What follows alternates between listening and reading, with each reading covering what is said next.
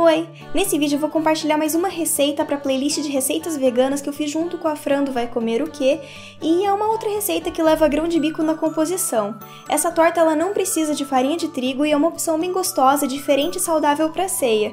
Ela pode ser servida como entrada, prato principal e também como acompanhamento.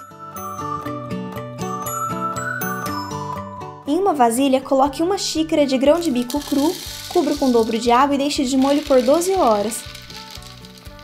Passadas as 12 horas, escorra a lava e coloque em uma panela de pressão, cubra com dois dedos de água e deixe cozinhar por 5 minutos depois que pegar pressão.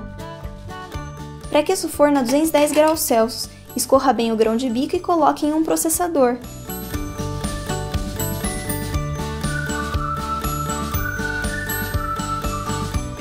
Adicione uma colher de sopa de suco de limão, uma colher de sopa de orégano desidratado, meia colher de chá de sal, e um quarto de xícara de azeite e bata para virar uma pasta grossa.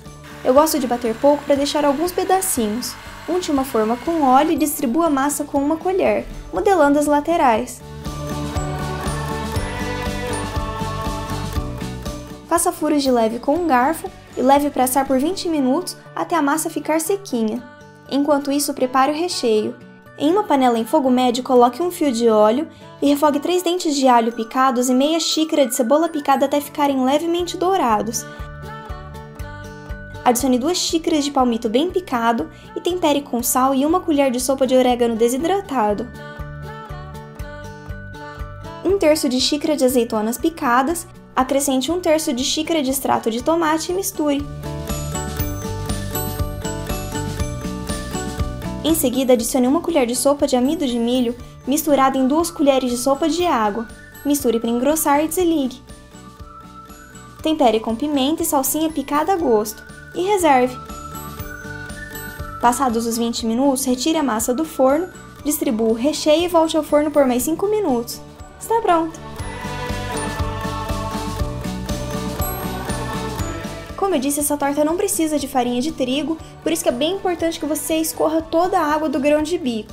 Se você vê que a massa não ficou igual do vídeo, você coloca umas duas ou três colheres de sopa de farinha de trigo, farinha de trigo integral ou farinha de arroz. Se você quiser, ao invés de fazer essa torta em uma forma grande, pode fazer várias empadinhas. Aí, no caso, coloca uma camadinha fina de massa, um pouquinho do recheio, tampa também com auxílio de uma colher, deixa bem fechadinho.